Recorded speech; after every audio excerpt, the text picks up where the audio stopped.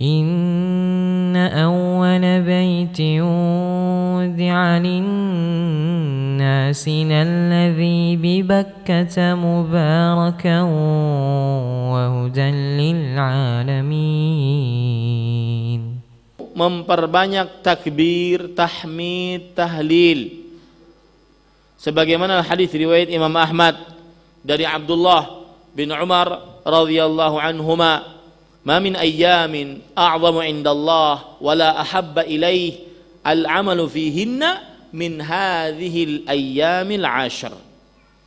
yang artinya tidak ada hari-hari yang lebih agung di sisi Allah lebih dicintai oleh Allah beramal saleh di dalam hari-hari tersebut dibandingkan 10 hari pertama bulan Zulhijjah.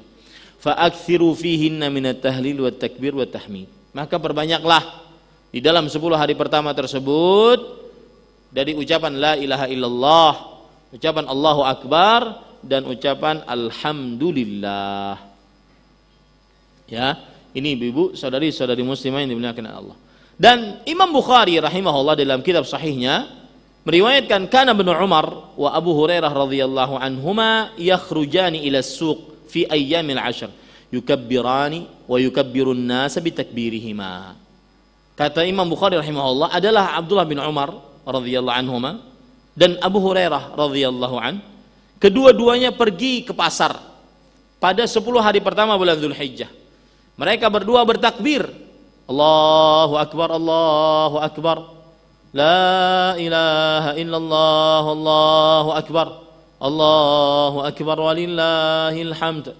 Mereka berdua bertakbir dan akhirnya orang-orang mengikuti takbir mereka berdua Mengikuti di sini maksudnya bukan bertakbir bersama-sama, tetapi ikut bertakbir. Ya, tetapi ikut bertakbir.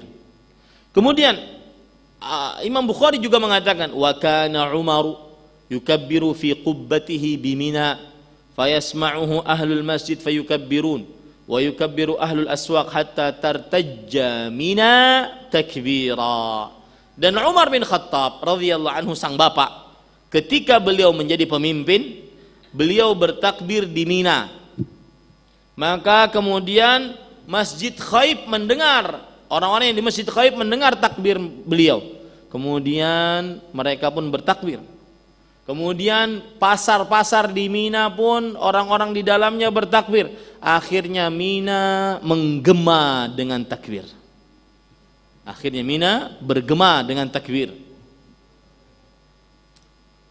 ini uh, akhwatil muslimah hafizakunallah. Begitu juga Ibnu Umar radhiyallahu anhuma yukabbiru mina tilkal ayyam wa khalfas salawat wa ala firashih wa fi fustatih wa majlisih wa mamshahu tilkal ayyami jami'an. Abdullah bin Umar radhiyallahu anhu senantiasa bertakbir di Mina pada hari-hari tersebut yaitu tanggal uh, 10, 11, 12, 13 di setiap setelah selesai sholat ketika mau tidur ketika di atas kasur ketika di tempat duduk ketika sedang berjalan seluruhnya bertakbir nah ini menunjukkan ibu-ibu mulai dari malam Jumat ataupun malam Sabtu yang akan datang memperbanyak takbir sampai kapan?